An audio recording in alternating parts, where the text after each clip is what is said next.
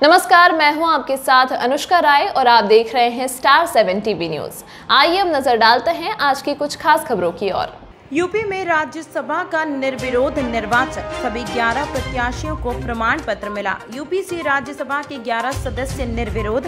BJP के आठ प्रत्याशी राज्यसभा सदस्य बने। समाजवादी पार्टी के तीन प्रत्याशी राज्यसभा सदस्य बने। बीजेपी के लक्ष्मीकांत वाजपेयी राधा मोहन दास अग्रवाल निर्विरोध।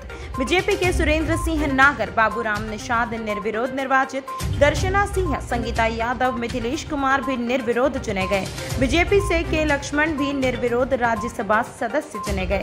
कपिल सिब्बल, जयंत चौधरी, जावेद अली निर्विरोध निर्वाचित। स्टार सेवन टीवी न्यूज़ की कवरेज। इसी तरह की खबरों को देखने के लिए बने रहिए स्टार सेवन टीवी न्यूज़ के साथ।